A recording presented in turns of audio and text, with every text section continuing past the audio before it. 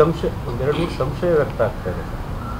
ಅಂದರೆ ಕಾರ್ತಿಕ್ ಗೌಡನ್ನ ಇನ್ನೂ ಕೂಡ ಅರೆಸ್ಟ್ ಮಾಡೋಕ್ಕೆ ಹೋಗಿಲ್ಲ ಅನ್ನೋ ವಿಚಾರ. ಅಂದರೆ ಯಾಕಾಗಿ ಅದು ಡಿಲೇ ಆಗ್ತಾ ಇದೆ? ಅದು ಸಂಬಂಧಪಟ್ಟ ಮಾಹಿತಿ ಏನಾದ್ರು ಇದೆಯಾ ಸರ್? ಯಾಕೆಂದ್ರೆ ಅವನ ಮೇಲೂ ಕೇಸ್ ಆಗಿದೆ ಎಫ್ ಐ ಆರ್ ಆಗಿತ್ತು. ಟೆಕ್ನಿಕಲಿ ನಾವು ಕಾನೂನಿನ ಪ್ರಕಾರ ಎಲ್ಲವನ್ನು ಕೂಡ ಒಬ್ಬರನ್ನ ಅರೆಸ್ಟ್ ಮಾಡಬೇಕು ಅಂತಂದರೆ ಇಂಥ ವಿಚಾರಗಳಲ್ಲಿ ಭಾಳ ನಿಖರವಾದಂಥ ಎವಿಡೆನ್ಸ್ಗಳಿರಬೇಕು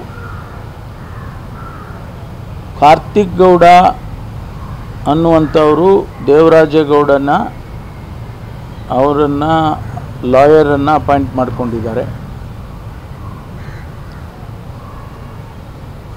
ಮತ್ತು ಅವರ ಕಡೆ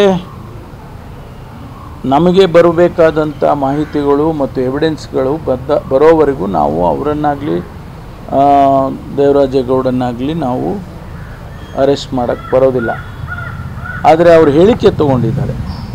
ಫಾರ್ಟಿ ಒನ್ ಎ ಅವ್ರಿಗೂ ಕೊಟ್ಟು ಸಮನ್ಸ್ ಮಾಡಿ ಅವರ ಹೇಳಿಕೆ ತೊಗೊಂಡಿದ್ದಾರೆ. ಆ ಹೇಳಿಕೆಯಲ್ಲಿ ಏನು ಅವರು ಕೊಟ್ಟಿರ್ತಾರೆ ಅದನ್ನು ವೆರಿಫೈ ಮಾಡಿಕೊಳ್ತಾರೆ.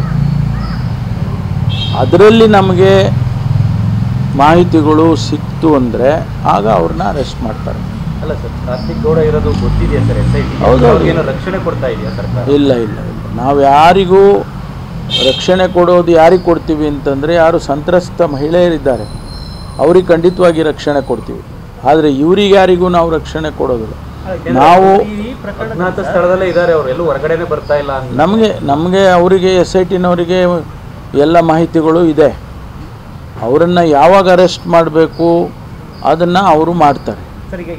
ಯಾಕೆಂದರೆ ಅರೆಸ್ಟ್ ಮಾಡಬೇಕಾದ್ರೆ ನಮಗೂ ಅದು ಸ್ಟ್ರಾಂಗ್ ಎವಿಡೆನ್ಸಸ್ ಬೇಕು. ಇಲ್ಲದೆ ಹೋದ್ರೆ ಏನಾಗುತ್ತೆ? ಬೇಲ್ ಸಿಕ್ಕತ್ತೆ. ಯಾಕೆಂದ್ರೆ ಸರ್ ಈಗ ಬೇಲ್ ಕೂಡ ರಿಜೆಕ್ಟ್ ಆಗಿದೆ. ಕಾರ್ತಿಕ್ ಗೌಡ ನವೀನ್ ಗೌಡ ಇತರ ಮೂವರು ಕೂಡ.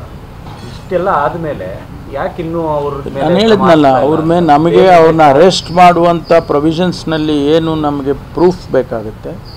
ಅದು ಸಿಕ್ಕಿದ ತಕ್ಷಣವೇ ಅರೆಸ್ಟ್ ಮಾಡ್ತಾರೆ. ಯಾಕೆಂದ್ರೆ ಕುಮಾರ್ ಅದಕ್ಕೋಸ್ಕರ ನಾವು ಕಾಯ್ತಾ ಇದ್ದೇವೆ ಅಂತ ಹೇಳಿ ಇದೆ. ಅದನ್ನ ಹೆಚ್ಚು ಡೀಟೇಲ್ ಹೇಳಕ್ಕ ಹೇಳೋಕ್ಕಾಗಲ್ಲ ಕುಮಾರಸ್ವಾಮಿ ಆರೋಪ ಮಾಡಿರೋದು ಹಂಗೆ ಸರ್. ಇಲ್ಲ, ಅವ್ರು ಮಾಡ್ತಾರೆ. ವಿಚಾರದಲ್ಲಿ ಕಿಡ್ನಾಪ್ ಕೇಸನ್ನ ಲಿಂಕ್ ಮಾಡ್ತಾರೆ ರಾಜಕೀಯ ಕಾರಣಗಳಿಗೋಸ್ಕರ. ಬಟ್ ಕಾರ್ತಿಕ್ ಗೌಡ ಮತ್ತೆ ನವೀನ್ ಗೌಡ ಅನ್ನೋರು ಪೋಸ್ಟ್ ಮಾಡ್ತಾರೆ ಪೆನ್ ಡ್ರೈವ್ ಬಗ್ಗೆನೆ. ಅವರನ್ನ ಅರೆಸ್ಟ್ ಮಾಡಲ್ಲ. ಇದು ಯಾವ ಕಾರಣಕ್ಕೋಸ್ಕರವಾಗಿ? ಇದ್ರ ಮೇಲೆ ನಂಗೆ ಎಸ್ ಐ ನನಗೆ ಅದನ್ನ ಡೀಟೇಲ್ ನಾನು I don't want to share with you ಯಾಕೆಂದ್ರೆ ಅದಕ್ಕೆ ಅದಕ್ಕೆ ಆದಂತ ಟೆಕ್ನಿಕಲ್ ರೀಸನ್ಸ್ ಇದೆ. ಅದನ್ನು ನಾನು ಶೇರ್ ಮಾಡೋದಿಲ್ಲ.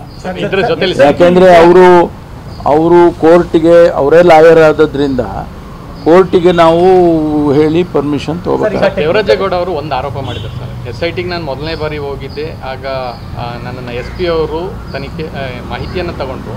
ಎರಡನೇ ಬಾರಿ ಹೋದಾಗ ಡಿ ಸಿ ಎಂ ಅವ್ರ ಬಗ್ಗೆ ಹೇಳಿಕೆಯನ್ನು ವಾಪಸ್ ತಗೊಳ್ಳಿ ನಾವು ಅದನ್ನು ವಿಡಿಯೋ ಡೆಲೀಟ್ ಮಾಡ್ತೀವಿ.